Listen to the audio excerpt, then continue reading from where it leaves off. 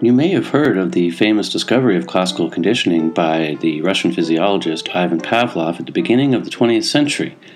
Dr. Pavlov, quite by accident, discovered that he could pair a behavioral reflex, such as salivating, to something that did not previously trigger salivation, such as a metronome.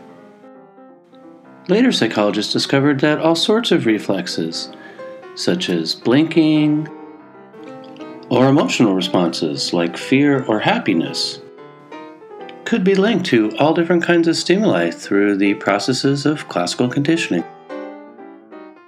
Now we will demonstrate how a dog can become classically conditioned to salivate in response to a small little boy.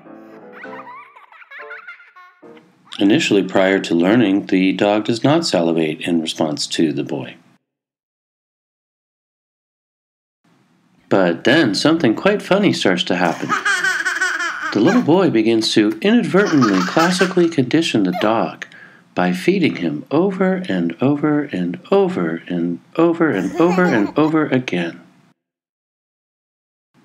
Due to the repeated pairings of the little boy with the food causing salivation, the little boy with the food causing salivation, the boy himself begins to trigger salivation, and now classical conditioning has occurred.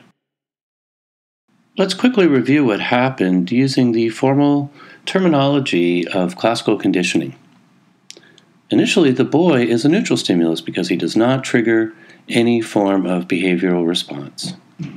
But through multiple pairings of the boy, neutral stimulus, with the food, an unconditioned stimulus, that triggers salivation, an unconditioned response, the boy is now a conditioned stimulus who automatically triggers salivation, a conditioned response.